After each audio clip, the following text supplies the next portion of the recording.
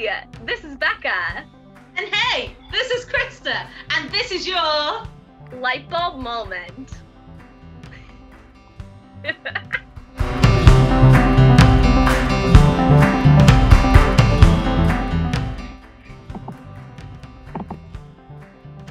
oh, hey, Bekah. Nice pearls.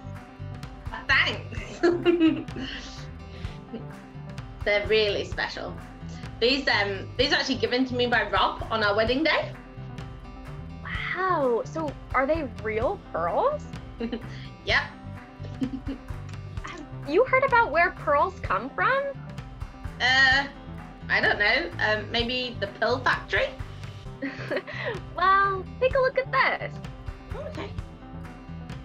Oysters are creatures that live in the ocean. Their bodies are mostly one big muscle inside a shell, which they build themselves, just like a snail or a clam. While an oyster shell is normally clamped shut, sometimes it has to reach out of its shell to grab food. And after it eats, sometimes a little bit of food or other leftover stuff can get stuck inside of the shell. Since it's not easy for oysters to get that little piece of food or dirt out of their shell, they try to make it a little less scratchy by coating it in something called nacre fully smoothing out any sharp edges or points. The little bit of food becomes smoother, rounder, and shinier, and the oyster adds more layers until it doesn't hurt anymore. As it makes itself more comfortable, the oyster also creates something beautiful a pearl. Wow.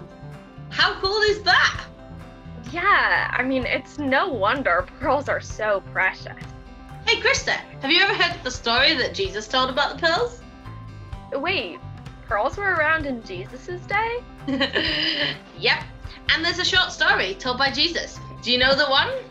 He, you know, one of those ones that helps him like teach something. Uh, what's it called? You know, I think we might call that a parable. Yeah. So it's a parable called Pearl of the Great Price. I'll read it. Well, I better get comfy then. Oh no, it's really short. I promise. Okay. The kingdom of heaven is like a merchant. So that's somebody who makes a lot of money and rings and sells things. Who is looking to find pearls. When he finds one of great value, he went away and sold everything he had and bought it. Okay. Go on. Carry on. no, that, that that's it. That's the story. Oh, wow. That was really short. So there's this guy.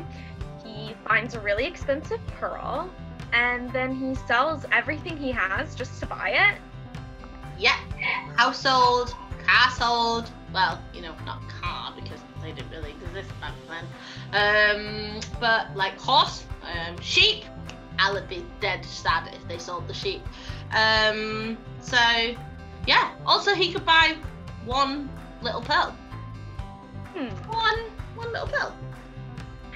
So, what do you think Jesus was trying to tell us?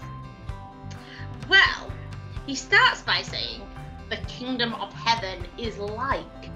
Well, the kingdom of God is basically where God is, where he is king. So, what Jesus is saying is that when you find God, when you find out who he is, and that he is the king, and he is all powerful, and that he just adores you, and you don't need anything. This is the ultimate price. I mean, when you think about it, it's pretty crazy how people spend their whole lives filling their houses full of stuff when actually, when it's time to go to heaven, none of that matters anymore. You know, Christa, you hit the nail on the head. What nail?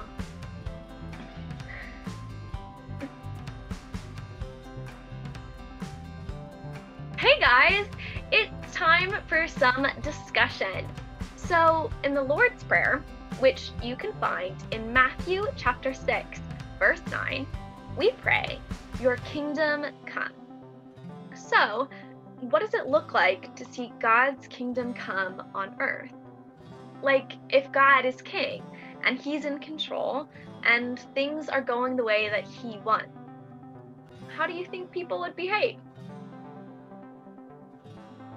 See you next week!